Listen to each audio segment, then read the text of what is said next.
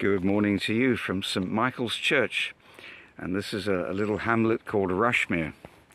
And about a mile from where I live, you might be able to see the, the round tower of the Saxon church there.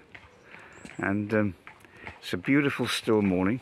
You might hear the clip clopping of the horses coming there. I don't know if you can see them. That's just one horse. There we go. Um, I'm not sure if I angled the camera correctly. One lady rider going there, enjoying the freedom of the countryside. And uh, the word freedom came to mind this morning. And uh, I'd like to share a few thoughts about that with you when I get back to the car. Yes, what does it mean to be free? I went to visit my, uh, my dear brother in Christ, Paul. Those of you that have gone onto my community tab would have seen that I put out a prayer request for him.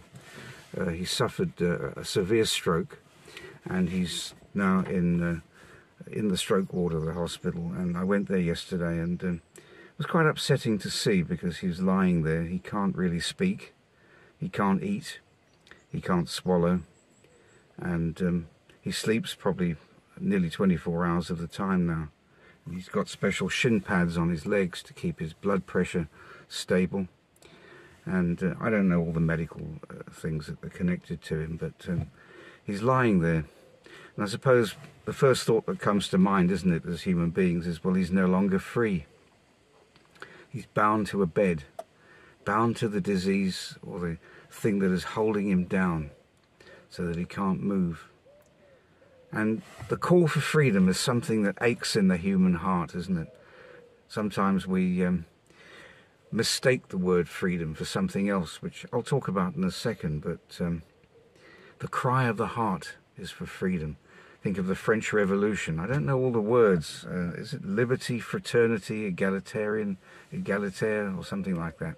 Those of you that are historians will correct me there.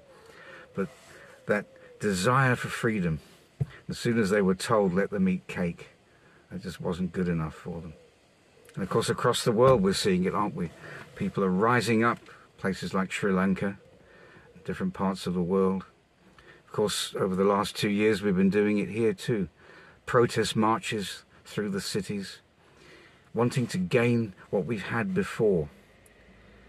And um, freedom is often substituted with another word, that word is convenience.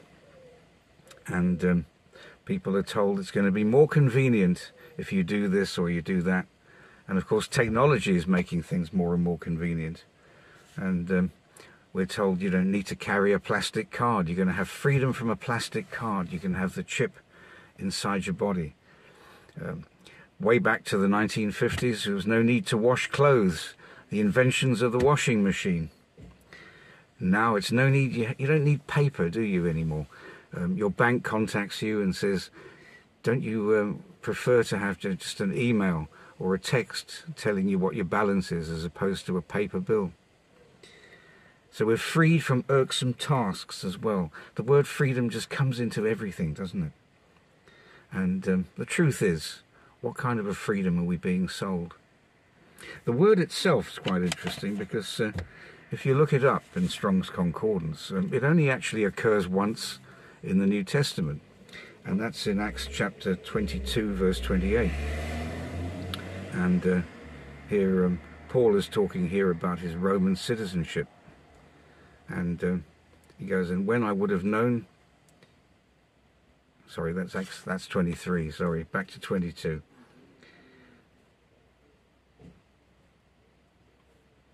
22, 28.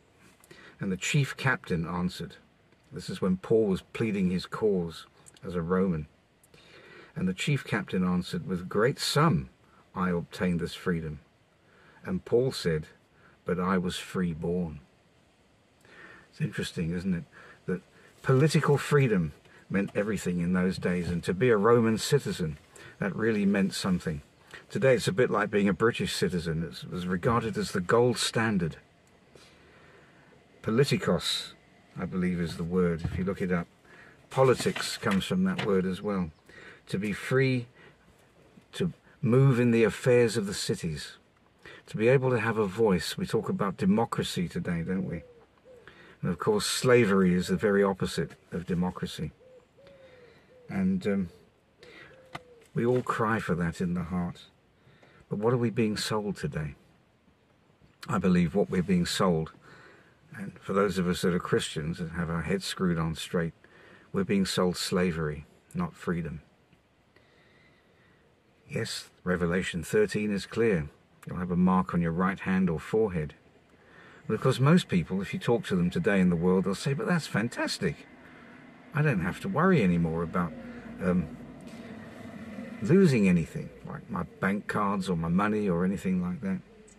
And so people are sold something that is the complete opposite to what they actually really need.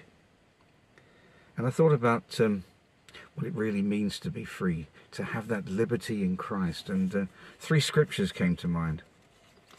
And uh, 1 Corinthians 7, verse 22. Paul is saying here, For he that is called in the Lord, being a servant, is the Lord's freeman. Likewise, also he that is called being free is Christ's servant. And there's a mixture there of the word, isn't there? You're a freeman in the citizenship of the sense, you know, in the sense of the world, but you are now actually the Lord's servant. So your freedom is now bound up when you're in Christ. But it's bound up to more freedom, which is, is, is the uh, irony of this. And likewise, Paul says, he that is called at being free is now Christ's servant. So you're a servant, but you're free. If you were free, you're a servant. But in the kingdom of God, being a servant is, is the freest thing you can be. That sounds a little bit convoluted and jumbled. I hope I've got the point across there. My friend is lying in, in um, hospital, but he's in Christ. His body is bound down, but his spirit isn't. His mind isn't. And he's holding on to that freedom in Christ, which is what God wants us to do, whether we're in bed, whether we're in um, any kind of uh, suffering or depression or anything that binds us up. God wants us to be free and to be walking in Him, no matter what state we're in in the world. Peter clarifies it for us here in 2 Peter 2, verse 19. While they promise them liberty, they themselves are the servants of corruption. For of whom a man is overcome, of the same is he brought into bondage.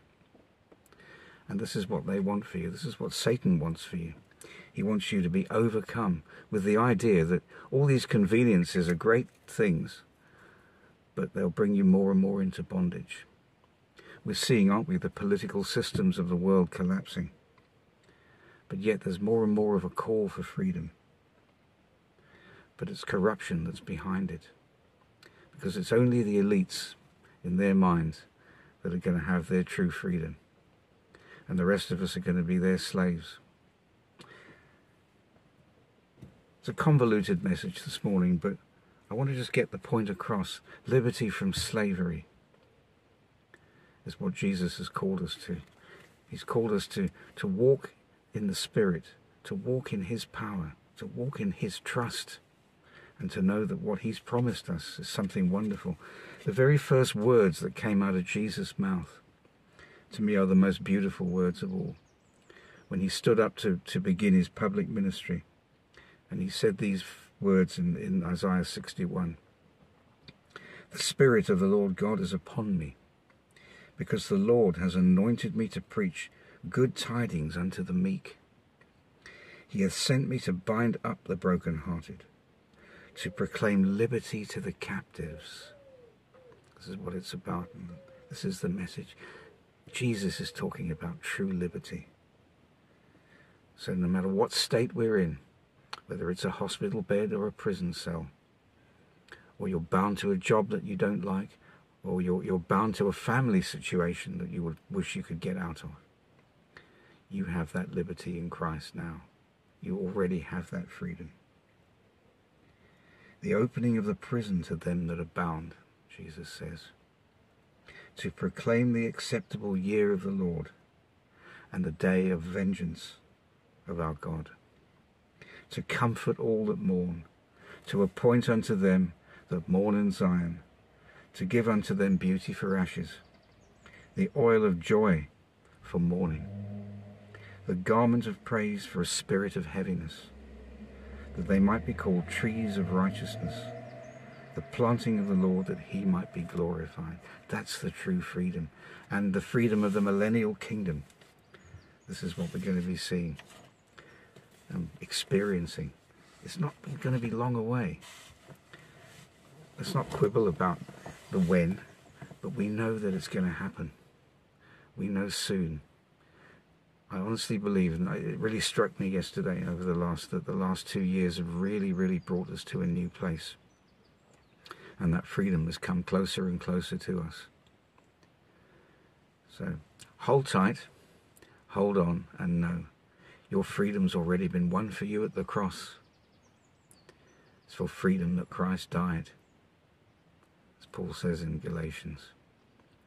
We're not bound to a law or the laws of man, or certainly not Old Testament law. We have a Sabbath rest in Christ, and it's, it's permanent and it's eternal. And there are things yet to happen that are too wonderful for us to understand. But to be inside the Lord is true freedom to be, in, to be held in his arms. He who dwells in the shelter of the Most High will abide under the shadow of the Almighty. And under that almighty shadow is true freedom. So I pray today that your worship is worshipping time wherever you go, or if you don't go anywhere, that it's a time that you uh, think about the Lord and the joys and the pleasures that He's brought to you and will bring you. And let's live in that hope and in the, the knowledge that that glorious freedom is coming. Have a blessed day.